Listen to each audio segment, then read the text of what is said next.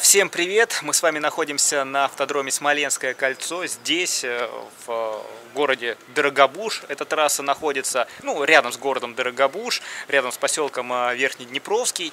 Ну и, соответственно, это та трасса, на которой проходит у нас в этом году уже третий по счету этап российской серии кольцевых гонок. И вообще же надо сказать, что у нас сегодня здесь уже первый соревновательный день прошел. Было в классе Super Production много очень аварий, было много сходов. В Туринге все прошло относительно спокойно. Э, мы приехали сюда накануне, Э, вчера, ну и вот сегодня мне удалось пообщаться с некоторыми гонщиками, и сейчас я вам покажу, что же интересного они здесь говорили, покажу некоторые интересные машинки, которые здесь есть. Э, я в этом году впервые приехал на российскую серию кольцевых гонок, э, комментировал эти самые гонки из Останкина, первые два этапа, которые состоялись в Грозном и в Нижнем Новгороде. Ну вот, посмотрите, так эта трасса выглядит. Вот э, эти самые жесткие поребрики. Трасса здесь э, чуть больше трех километров. 3 километра и там 375 метров, по-моему. Ее протяженность, э, очень здесь такой хороший перепад высот. Не такой большой, как в Казани, но тем не менее. Трасса в очень живописном месте находится. А вот там, там чуть дальше, наверное, метров еще 100, там течет Днепр. Сейчас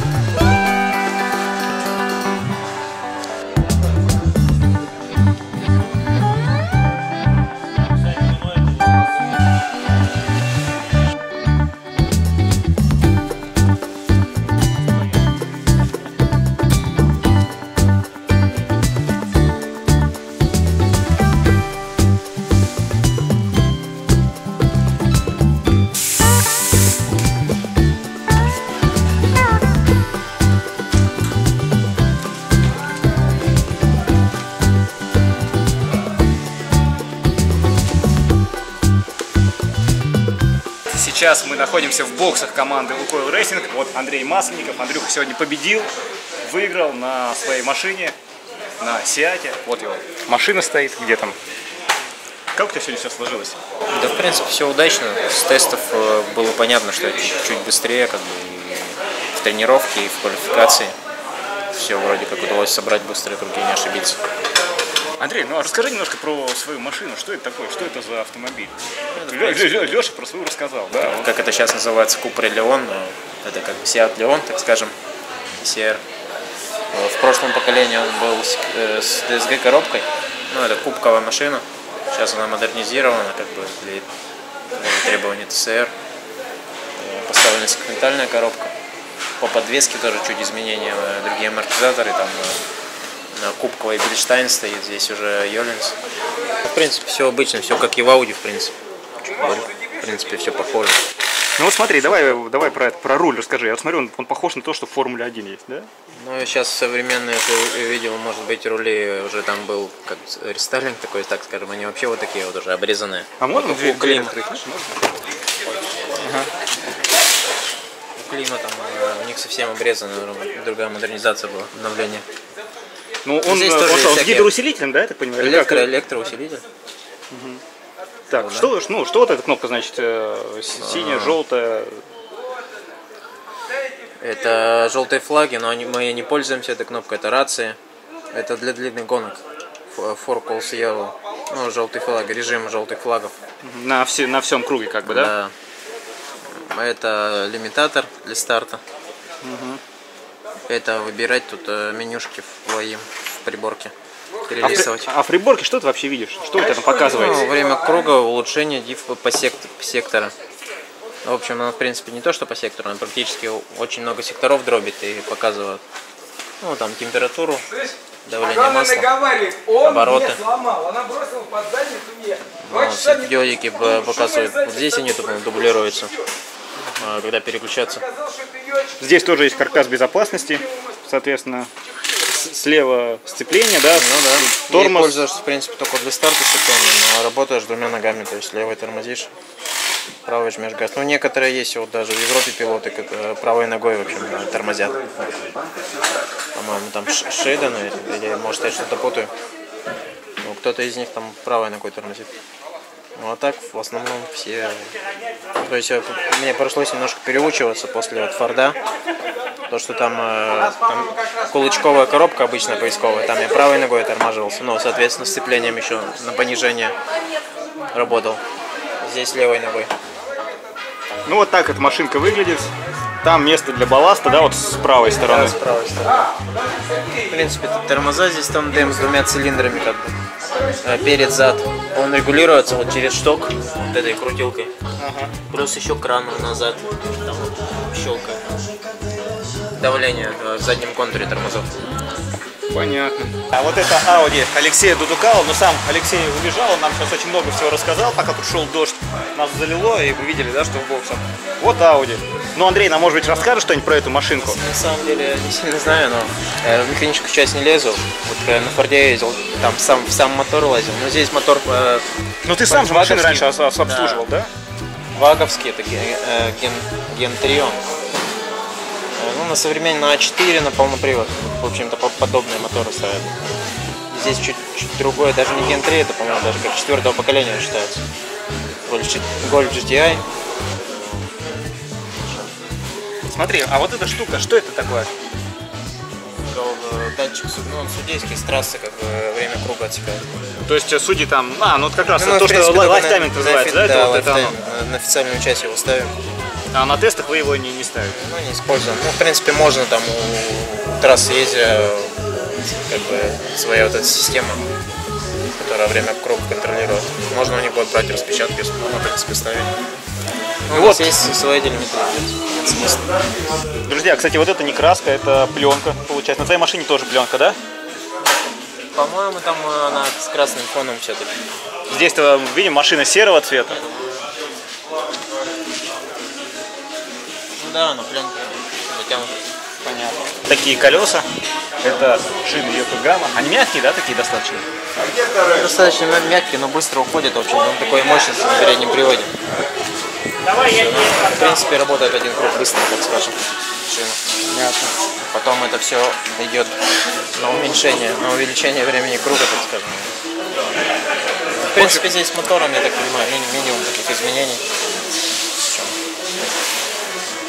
Андрей, Система да. вентиляции картера немного изменена. Ага. А ты пробовал такой ездить, вот как у Алексея, или не пробовал? Да, мы ехали длинную гонку в прошлом году. А, вот это Ахмат, то, что был, да, Ахмат Рейс. Ну что, понравился? Что похоже на машину, конечно. Ну, в прошлом году чуть... Я доездил на DSG же в прошлом году, там, 4 этапа. Ну, DSG, было- по сути, это как, ну, грубо говоря, автомат, да? Ну, Ну, не то чтобы автомат, там, в Ну, повышение, в принципе, он включает практически так же передачи. На понижение чуть... э, Но здесь тоже есть защита, здесь не- нельзя перекрутить машину. Она не дает вниз. Можно бы, как бы, по ощущениям сильнее тормозить мотором.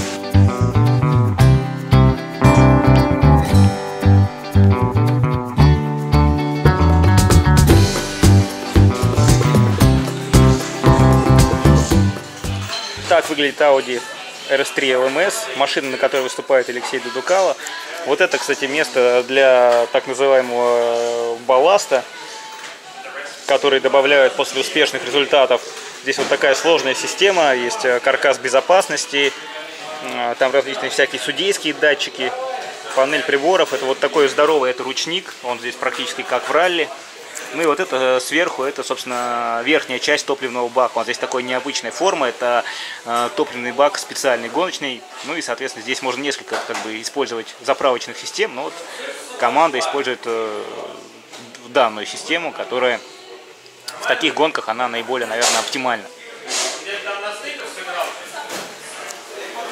И смотрите, что э, с покрышками. Это покрышка Йокогама, достаточно мягкие. Здесь, в Смоленске, они достаточно быстро заканчиваются. То есть можно фактически колеса убить за 1-2 круга. Это колеса, которые проехали гонку. Видите, они тут с такими червячками использованы. 25 тысяч рублей стоит одно колесо. 25 тысяч рублей стоит одно колесо, и представляете, вот на тестах тут можно только за там 2-3 дня тестов потратить миллион, миллион, миллион полтора чисто на колеса. Представляете, да, э, насколько дорого выступать в туринге, но тем не менее это очень крутые машины, очень быстрые машины и, наверное, самые такие красивые, если говорить о российском кольце. Вот так выглядят дождевые покрышки, это слик, на котором они выступают, да? Да. В обычном. Новые вот они. А, нет, тоже не новые. А, хотя вот тут эти вроде новые. Они проехали прогревочный круг перед стартом. Вот, вот эти? Да. А, ну я смотрю, практически даже еще и покрышки. Потом их сняли на стартовой решетке, одели слив. Потому что погода Понятно. была непонятная. Просто про- прогревочный. Ну, короче, буквально один круг они проехали, практически не стерлись, да? Ну, это просто так, в таком э, прогулочном ритме. Прогревочный. А вот эти сколько проехали примерно?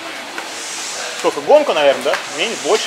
Сколько? или- Ну, можно сказать, гонку проехали.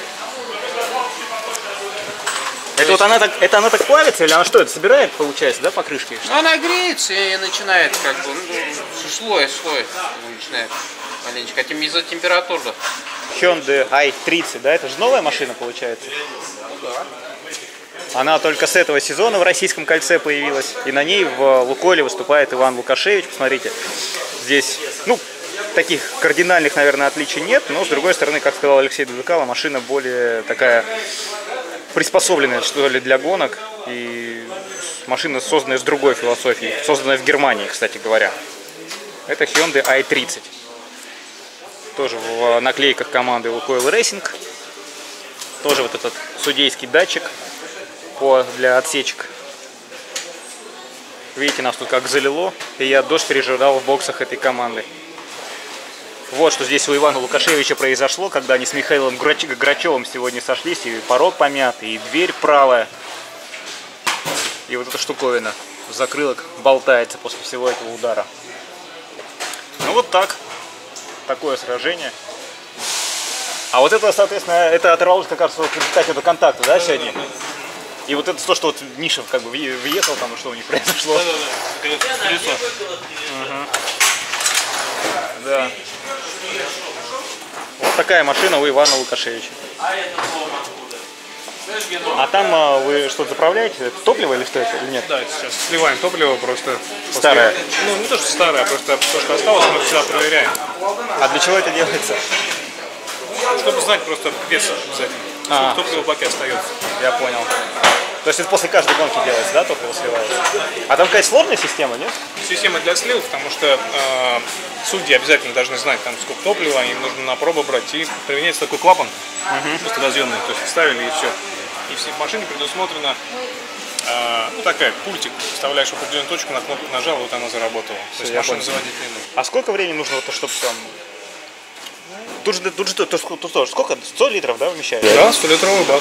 Ну, вот где-то 25 литров, наверное, наливает, может быть, минут за 5. А, ну то есть это такая быстрая не скажу, но относительно быстро, да. Есть, Ну а вообще эти машины, вот они по конструкции сильно так друг от друга отличаются? Нет, по системам, я не знаю. ну, вот Volkswagen, ну, вот Volkswagen группа, они это одна и та же тележка, соответственно, разные кузова просто вот именно внешне. Hyundai, он, конечно, отличается, в чем приличие, потому что, ну, другая, скажем так, а, архитектура. Я понял. Здесь используются в основном заводские запчасти и машина компонуется. Ну, практически, как вы откроете капот, допустим, Seat, вы можете увидеть то же самое практически. А я думал, что обшивка, она снимается или нет? Или, или... Снимается, да, на болтик и все. Ну то есть вы на гонку снимаете или нет? Нет, нет, это, ну, это базовая обшивка, зачем ее снимать? Она не весит, в принципе, ничего, но это еще хороший внешний вид. А еще я хочу вас познакомить с Айдаром Нуриевым. Я, как вы знаете, жил в Казани 7 лет. Айдар тоже парень из Казани. И, соответственно, он здорово выступал и в прошлом году, и в ралли-кроссе. Но здесь у него что-то с этой машиной не складывается. Айдар, что у тебя происходит? Э, На самом деле, как бы я этого, возможно, и ожидал. Э, Построили новый автомобиль, мы нашли скорость, но пока не можем найти надежность. И уже на протяжении двух этапов у нас проблемы с мотором.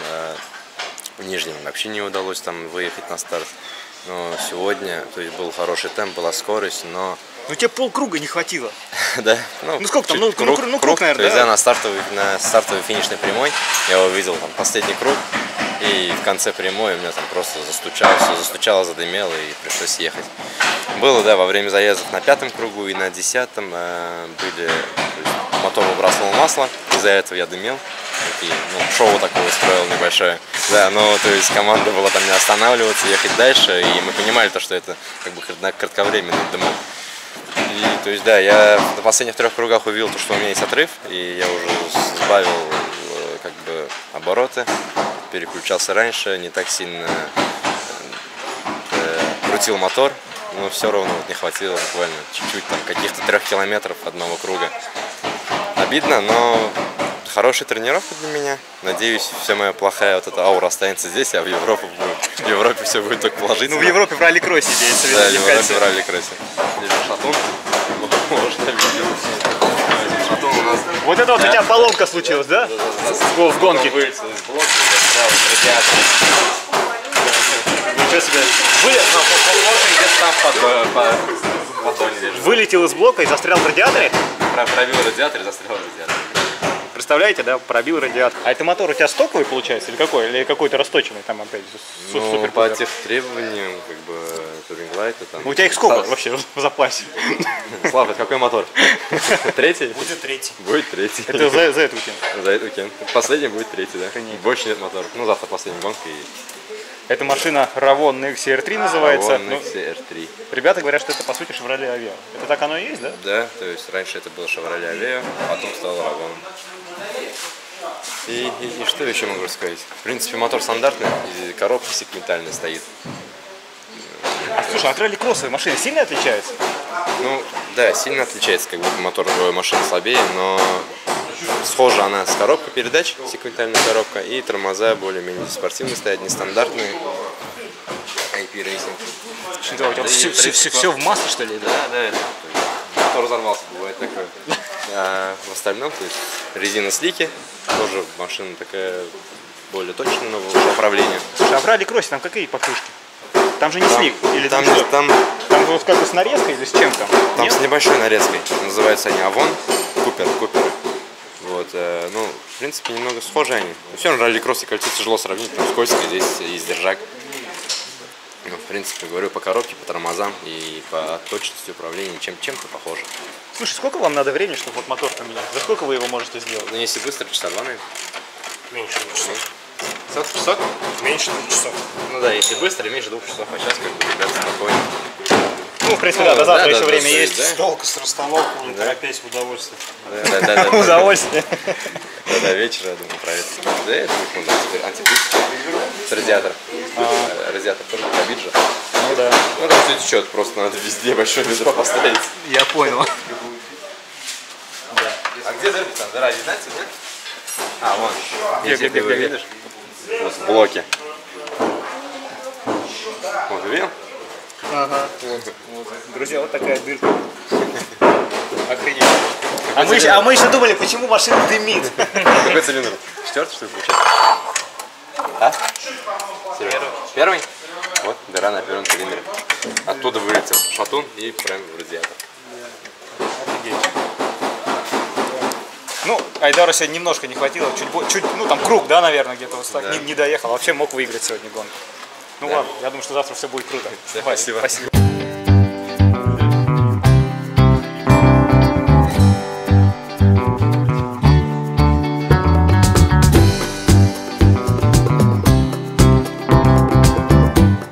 Слушай, это сегодня, да, случилось? Сегодня чуть не боролся.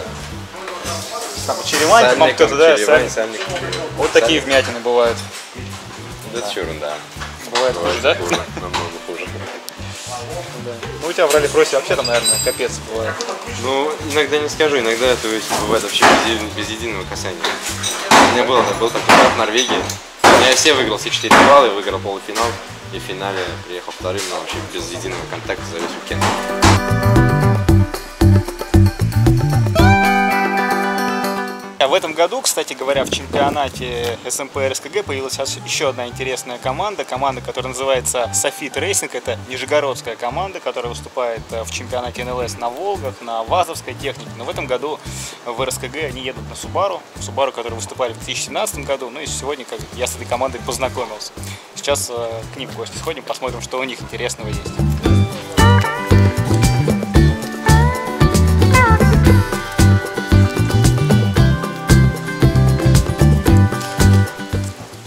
Ребят тут сегодня были аварии в классе Super Production. Причем самое интересное, да, что столкнулись два партнера по команде. Ну и вот что с бампером, видимо, стало. Я, правда, не знаю, это от какой машины, от чьей. Или Дмитрия Лебедева, или Вадима Антипова. А это чей бампер? От какой машины? 22 или от 78? 22 от Дмитрия Лебедева, да? машина?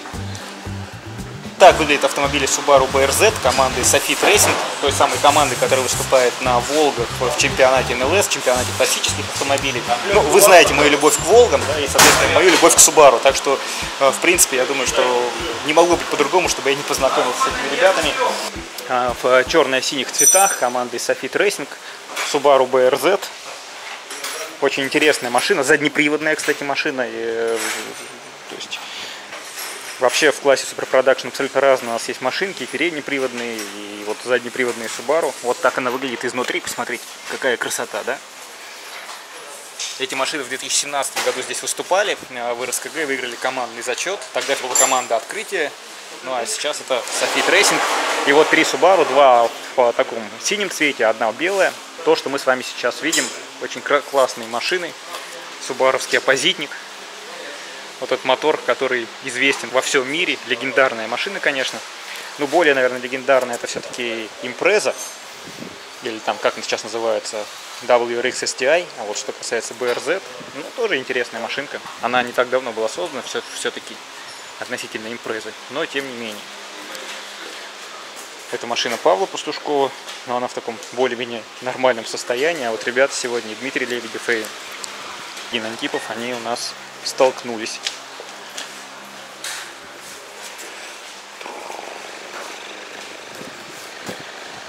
Дмитрий Лебедев сегодня, машины под номерами 22 и 78 столкнулись, и вот что случилось э, с одной субаровской фарой, посмотрите, она вся в хлам после этого столкновения, но с другой стороны, механики уже все достаточно быстро поменяли, и тут никаких проблем не возникло. Фара, наверное, это самое простое, что можно было тут поменять.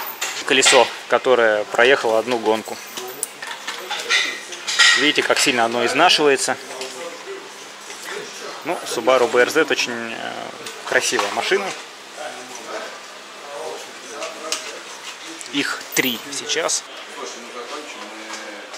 Это Григорий Бурлуцкий, человек, который в том году ездил в двух классах, сейчас выступает только в туринге. Григорий, у тебя сегодня такая, по спокойная гонка получилась, да? Ну, как спокойно? То есть, Ну, ты, по крайней э, мере, никого не, не выносил, тебя никто не выносил. Да нет, ну да, слава богу, без этого. Сегодня гонка получилась у нас такая максимально профессиональная. А, Все пилоты вели себя корректно, ну, по отношению ко мне. Ну, это хорошо на самом деле. Хотя пару раз я думал, особенно в начале, думал, что там точно кто-то мне приедет э, в задницу или еще куда-нибудь. Вот, но в целом все хорошо. С девятого места мы добрались до четвертого. Борьба была, то есть так она было мало обгонов, но при этом э, как бы накал все равно держался, я пытался подобраться, подобраться, и в итоге я смог это сделать, э, ехать с Антоном Бадоевым, э, Павлом Климановичем. То есть, ну, Павла Климановича какие-то проблемы случились, поэтому проехали. А с Антоном Бадоевым, да, у меня там вся, вся, грубо говоря, весь заезд были проблемы, как проблемы, борьба, и в итоге я смог его опередить. А можешь немножко про свою машину рассказать? Ты вообще за команду Carville Racing, это питерская команда. Что это такое? Что это за контора? А, Ну, компания Carville, она занимается очень похожим делом, как- автомобилем. А, В нее входит четыре бренда, Luzar, Trialli, StartVolt и Airline. Э, Каждый из них отвечает за направление, скажем так, в, автомобиле, в автомобилях. Там Лузар занимается системой охлаждения, Триали это э, подвеска, тормоза и все остальное. Это все на гражданские машины. Airline, может быть, возможно, видели, он это аксессуарка, Стартвольт это электроника автомобильная, стартеры, генераторы и все остальное. Вот, но благодаря им, да, то есть все выступления, все вот эти все движения, это все весь кайф, который мы получаем на гонках, вообще подготовка и все остальное, это все благодаря им полностью. Вот. э, Автомобиль у нас э, Volkswagen Golf, Вот он, кстати, так выглядит.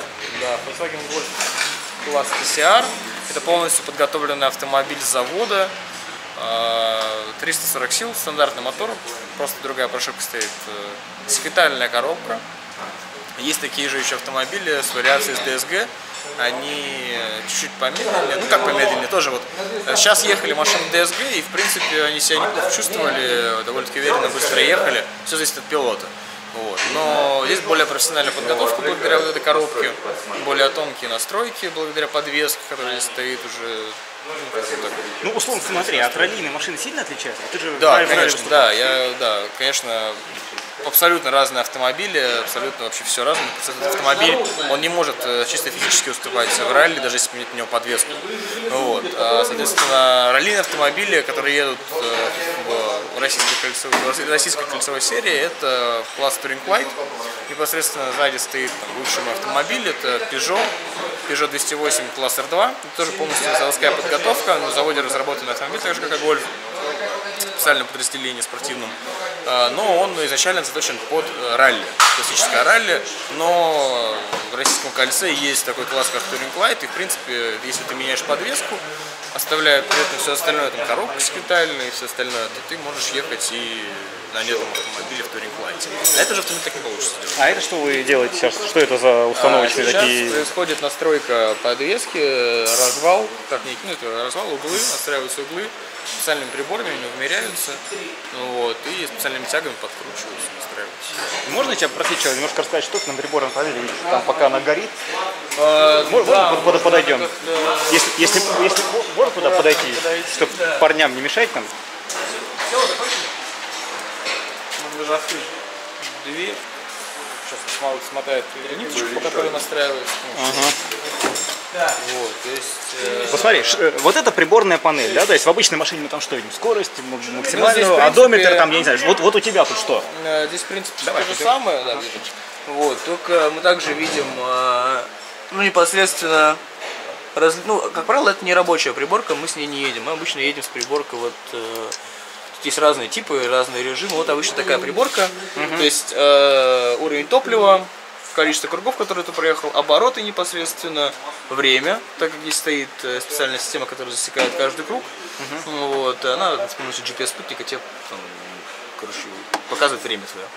Вот. Э, Также температура воды в моторе э, и э, обороты, наверное. Ну, вообще, нет, обороты. Вот здесь скорость, здесь обороты, это хер знает, что такое. Вот, э, то есть это не очень надо. Вот такая вот приборка, так она выглядит. Основные отличия вообще стандартного гольфа, то есть э, обвес, определенный обвес, который позволяет э, создать более лучшую Но она низ- низкая машина, да, Да, соответственно? низкая основа, на нее большие тормоза стоят, довольно-таки там 380 э, стоит диск тормозной, э, ш- четырехпоршневая система, и шести, шести. Вот. А Мотор, как я говорил, он стоковый, совершенно стандартный, просто взята другая прошивка, залита сюда, и мощностью 340 сил по, по, по крутящему моменту порядка 400, наверное, метров. Вот. Также стоит специальная система ну, интеркулер для лучшего охлаждения. Ну это не стандартный, да, интеркулер, я так понимаю? Ну, он не выдающийся какой-то там специально разработанный. Нет, обычный интеркулер, просто который вынесен наверх, чтобы благодаря а, дополнительному потоку ветра через э, Ну вот он отсюда, наверное, нижние засасывает, да? получается, он вылет, ну, воздух выходит через интеркулер и выходит Сюда, да. Этим самым охлаждает, охлаждает двигатель, турбину. Вот, э, ну, нулевик такой вот большой вот этот стоит Вот это. э, внутри в кожухе. А так, все то же самое. Ну, то есть для, для аэродинамики добавили специальные расширенные крылья, полностью э, дисплей-салон. Смотри, а, кстати, вот, вот расскажи мне, бала- куда крепится балласт? Вот сюда. Вот здесь лежит балласт, да? Это такие какие? Это блоки какие-то металлические, что Каждый по-разному, кто-то диски кладет. Мы раньше блины из спортзала брали. Которые для штанги, да? Да, да, да, их сверлили и прикручивали к кузову. Вот, также Это у тебя что? камера специальная фронтальная камера, которая записывает всю гонку. Это, Это- это ты для себя? Или это судейские какие-то? А, Это, то судейские. есть определенно это обязательство перед судьями, то есть э, если какие-то спорные моменты, чтобы можно было их посмотреть, берется флешка из камеры и снимается видео. Вот. А- Вот это бак судьи черный. Вот это, вот это топливный бак. Да. Э, А как она заправляется, эта машина? Ну, Открывается через заднюю дверь. То есть, э, под- так подожди, вот. подождите, я вот сейчас просто тебе задам вопросик. Смотри, во- вот есть э, лючок бензобака. Да, это не, это не И- то. это- или что- здесь что такое? А, здесь э, в автомобиле можно видеть вот там, что там, Воздушная какая-то, да, да. Здесь специально стоит какая-то подвеска, э, которая поднимает автомобиль для каких-то настроек э, и тому подобное и так далее. Сейчас попросим, может даже поднимут машину. Валериан, можем поднять ее? Валера, секретное оружие. Он очень маленький, тоненький, очень Ну, как и- как- что под колеса. Как я. Да, и это позволяет очень быстро настраивать машину без всех. Туда вставляется специальный пистолет, открывается и машина ну, снизу можно увидеть, э, там сначала спереди поднимается автомобиль, потом сзади. Отлично. Вот, все. то есть специальные штыри, э, которые находятся непосредственно в этих вот э, элементах, они выезжают давление вниз, и машина полностью, ну, вот она стоит, висит, и можно проводить любые манипуляции с машиной. А это просто заправочный, он этом заправляется. бак, да, так он открывается, вот так вот. Вот, и туда вставляется шланг. А это что такое? То уровень топлива А, для просто- механиков. Все, я понял. Пускается воздух. Здесь очень большое давление, поэтому надо аккуратненько. Вот, пошел воздух.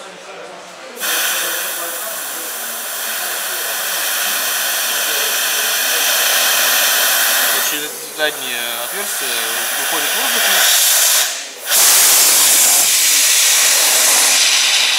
Все, автомобиль полностью опущен, воздуха там нету, а эти ушли обратно и закрываешь потом обратно.